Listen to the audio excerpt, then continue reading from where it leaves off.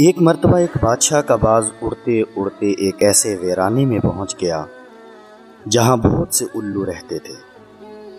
वहाँ जितने उल्लू थे, उन्होंने शोर बर्पा कर दिया और इल्ज़ाम तराशी शुरू कर दी कि यह बाज हमारे वीराने पर कब्ज़ा करना चाहता है। बाज इन बेवकूफ़ों के अंदर बहुत घबराया और उनसे कहा कि मैं यहाँ नहीं ठहरूँगा, मैं बादशाह की तरफ़ वापस जाता हूँ और ये वीराना तुम्हें ही मुबारक हो। मेरा मकाम तो बादशाह के पंजे और कलाई होता है।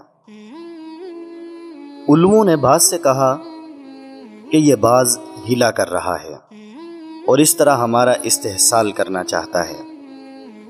और यह बाज हमारे घरों पर अपने मकर से कब्जा कर लेगा और इस खुशामद व सियासत से हमारा आशियाना उखाड़ फेंकेगा और हमारी बस्ती उजाड़ देगा।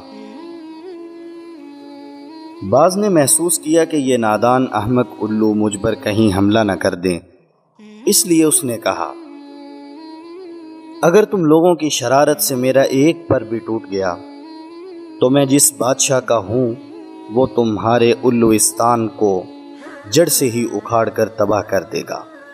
और हाँ मेरी ये भी बात याद रखो, मैं कहीं भी चला जाऊँ, मगर बादशाह की निगाह हिफाजत भी मेरे साथ हैं।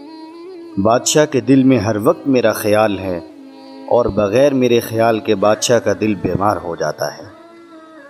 ये बात भी याद रखो, मैं शाही बाज हूँ, मुझ पर तो हुमा भी रश करता है। ये उल्लू बेवकूफ़ हमारे इसरार को क्या जानेंगे? नाजरीन, बिल्कुल इसी तरह बाज़ अवकात अलिया अल्लाह जो बाज शाही की तरह होते हैं, वो भी दुनियादार बेवकूफ़ों की निगाह में ऐसे ही पहचाने जाते हैं, जिस तरह उल्लुओं ने बाज शाही के मतलब क्यास आराइयाँ की।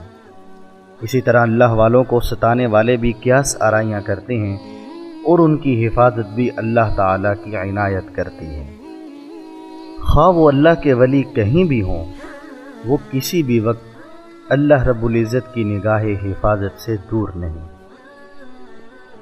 नाजरीन, इस वाक़े से हमें ये सबक मिलता है कि जिस शख्स के दिल में अल्लाह ताला के ताल्लुक़ की अजीम नियामत व दौलत मौजूद हो, उसकी नज़र भी हर वक्त बादशाह हकीकी, यानी अल्लाह रब्बुल पर होती है और सारी दुनिया उसकी नज़र में उल्लुओं की बस्ती की तरह महसूस होती है।